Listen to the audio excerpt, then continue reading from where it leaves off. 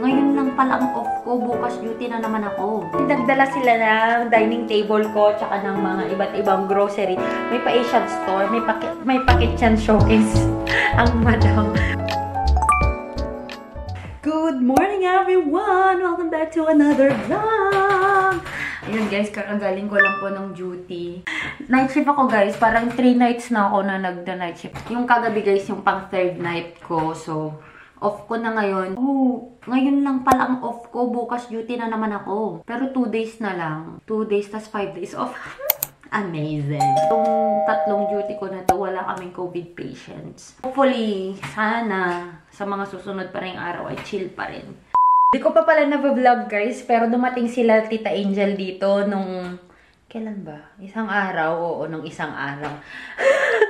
Sorry ah, pag night shift talaga confused sa date. Yun, and nagdala sila ng dining table ko, tsaka ng mga iba't ibang grocery. May pa-Asian store, may, pa may pa-kitchen showcase ang madam. Pakita ko lang sa inyo ha. Ito kasi medyo kinakabahan nga ako dito. Nun, grabe nakakahiya. Nag-rent pa talaga sila ng U-Haul. Yung nila nilagay lahat ng stuff. Ito siya yung table. Ayan. Four-seater siya na oak wood daw. Kaya medyo mabigat siya sis. Talagang kahoy po siya. Tapos guys, madami din siyang binigay sa akin ng mga gamit pa dito na iba. So, i-unbox lang natin actually. Nakita ko naman na yung iba, pero yung iba pala, hin may nakabox pa dyan na hindi ko alam kung anong laman ni. Yan, para makita nyo rin, ba?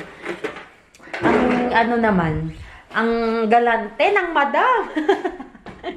Alright guys, so papakita ko lang sa inyo yung mga binigay sa akin ni Tita Angel. Grabe. Alam nyo, in-unbox ko galing dito. Tapos sasabihin lang ng camera ko, memory card error. Hindi ko alam anong nangyari. Tapos pagtingin ko, borado na yung film.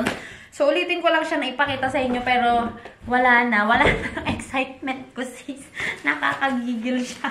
Nakakagigil tong memory card ko. Ayan. So, una na pinakita ko kanina, guys, is this one. Ito yung aking comforter na binigay nila. Ayan. Buti na lang hindi na ako bumili ng comforter ko pa na isa. So, at least meron ako nito.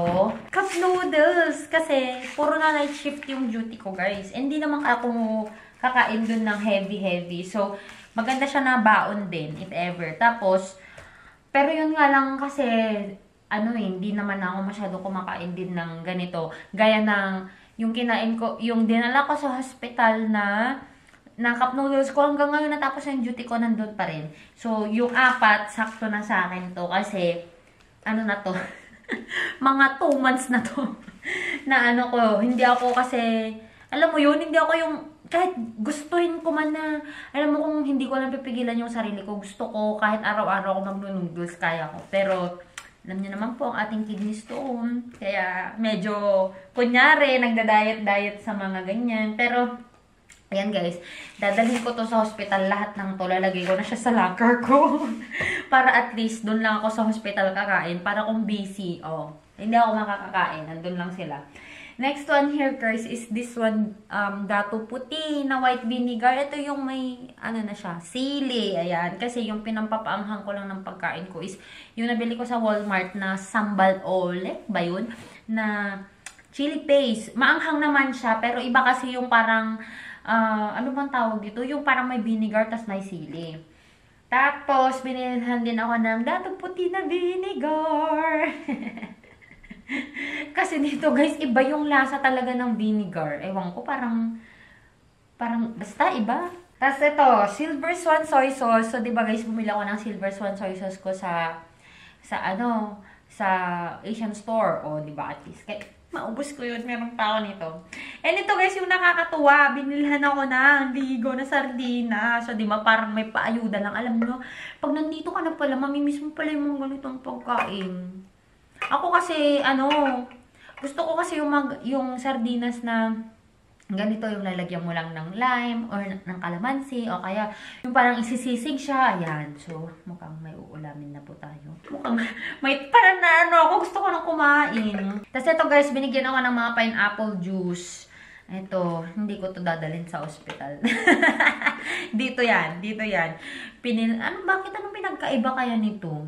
Pineapple with artificial, ah, with orange flavor yung isa. Tapos yung isa pure lang na pineapple. So, ting dalawa sila.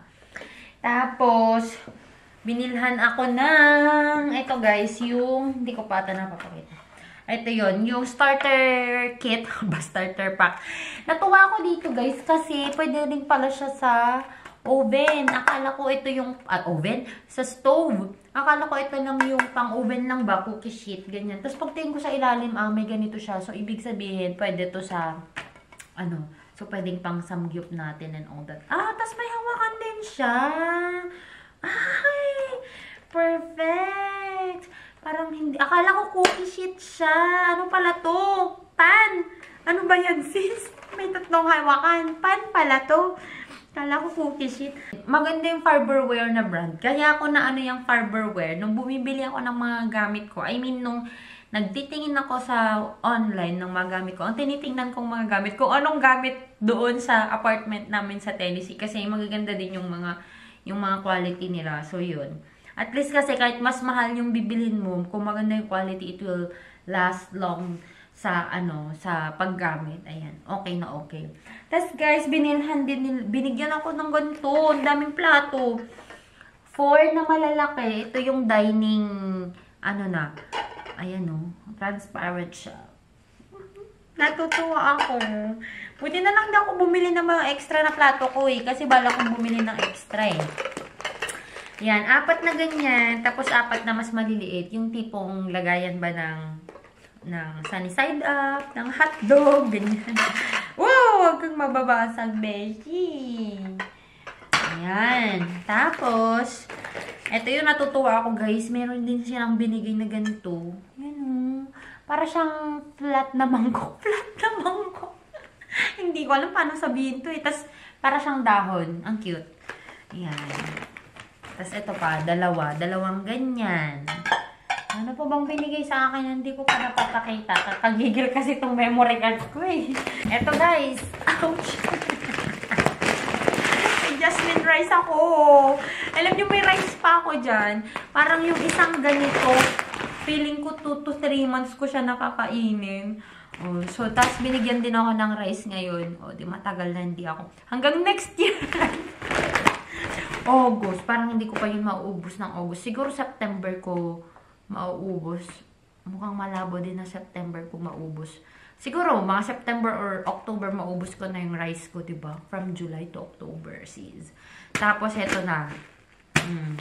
Hanggang matapos ang taon. At least may rice ako sa winter. Ayan. Thank you so much, Tita Angel, if you're watching.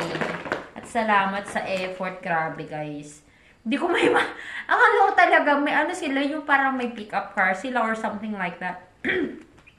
may dala talagang yun! Grabe, iba, iba din ang mag-effort. Iba din. Tapos, ano, sayang talaga hindi ako nakapag-vlog. Ewan ko, ba't hindi ako nag-vlog? Nandito sila. Chika na kami ng chika ni Tita Angel kung ano-anong pinagchichismisan na namin. Kaya, yon wala na. Sabi nga, the best moment in life are not captured by camera. Char, dami kong palusot. Pero, nag-enjoy ako sa pag-visit nila. Grabe. And super, duper, very thankful talaga ako sa mga binigay nila. You know, sa, lagi ko nga sinasabi, mahirap magsimula sa US. Pero, with all these things, ba diba, it's good. Thank you po! Hey everyone! So before you go, magsha-shoutout lang po muna ako as promised sa mga nag-comment pa sa aking video na shopping for scrub suit and visiting a church in Sioux City. Ayan. So, shoutout po kila Sis Manilin Gonzalez, Ronnie Caberto, and Jonah de Guzman Cabe. Napaka-consistent talaga nila. Wala talaga akong, parang wala pa akong ginawang shoutout na absent sila sa mga sa mga shoutout ko. And yun guys, kung gusto nyo rin pong mapasali sa mga susunod pa na shoutout ay mag mag-comment lang po kayo down below. And yung iba nag, nagme-message sa akin kung saan pwede bumili ng mga scrub suit, mga ganyan. Thank you so much guys. And yun. Pero kung gusto nyo guys, kayong mga nagme-message sa akin sa Facebook, Actually, dami yung nagme-message sa Facebook.